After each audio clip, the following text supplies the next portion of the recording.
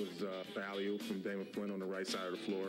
I feel like I jumped off a trampoline. I jumped so high to catch the ball and looked at it, and my head was near the rim, and I can remember holding on to the rim and doing a little chin up. Dewan Baker, bullet pass from half court. Uh, jumped, dunked it right in, and caught the ball before it even come back out of the rim and hit the floor at the same time.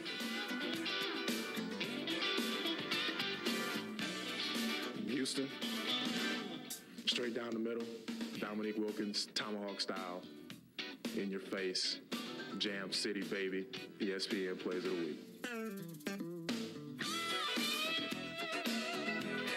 You know, I told Ryan Fletcher on the bench that I was gonna do a windmill dunk for my first dunk, and with three seconds left on the clock, here I am doing a windmill dunk to ice the game. Just ran crazy. I think I tackled the Bearcat and knocked him down a little bit, but I was too excited to even care. Best one against Alcorn State.